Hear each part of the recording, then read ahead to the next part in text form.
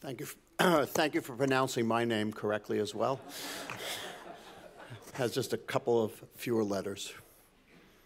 It's my pleasure to be here, uh, to be uh, able to speak in this beautiful city at this great uh, Congress today.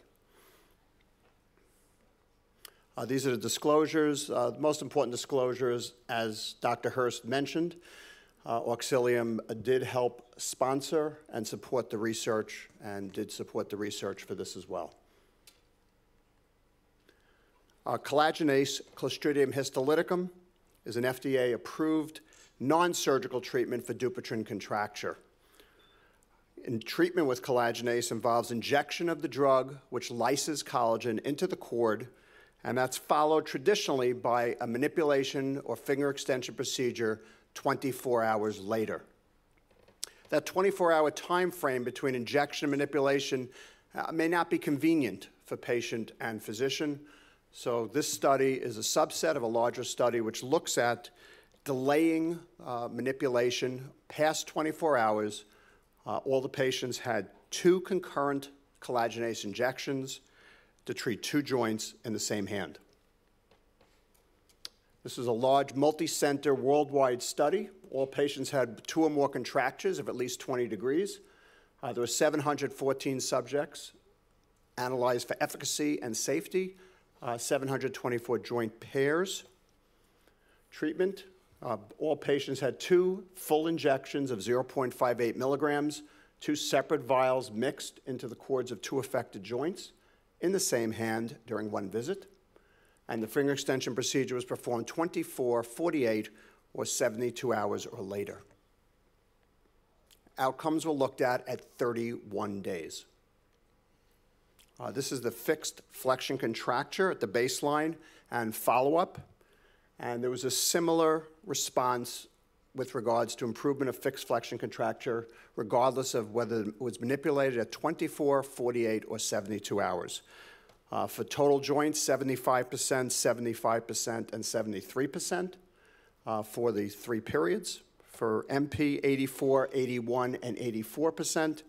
And for PIPs, 64%, 66, and 60% improvement of fixed flexion contracture.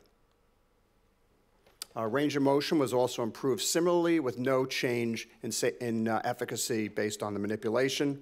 About 68% for total joint, 36% for MP, and about 30% for PIP.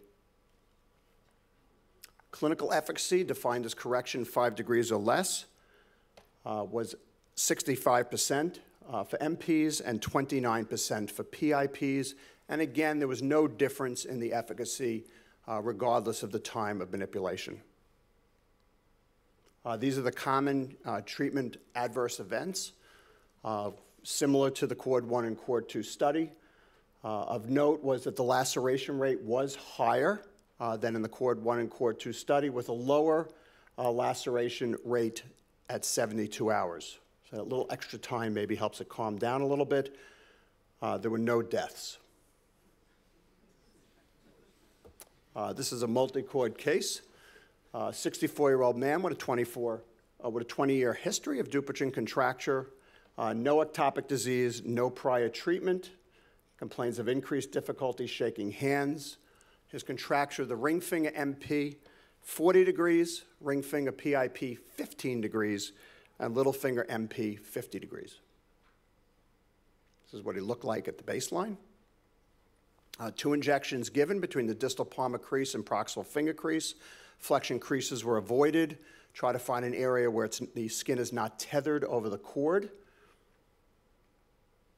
Typical side effects you'll see after collagenase injection pain, swelling, ecchymosis.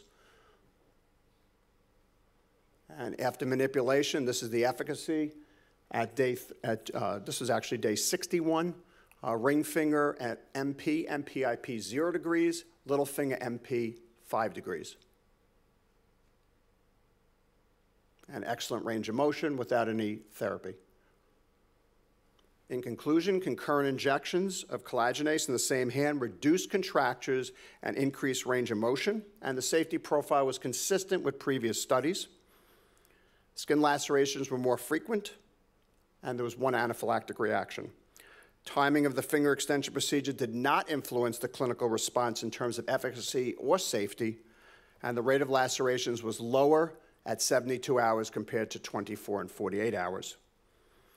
Uh, We feel that the ability to vary the time for manipulation after injection allows for greater flexibility for both patient and for physician. Thank you.